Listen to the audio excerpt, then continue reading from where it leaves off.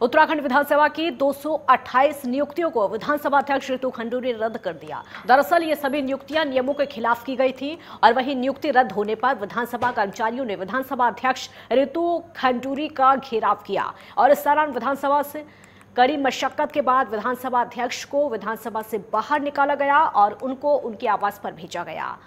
लेकिन इस जिन कर्मचारियों की नियुक्तियाँ रद्द की गई हैं, उन्होंने विधानसभा अध्यक्ष का घेराव किया और आंदोलन की चेतावनी दी है। इसके बाद विधानसभा अध्यक्ष के यमुना कॉलोनी स्थित आवास की भी सुरक्षा बढ़ाई गई।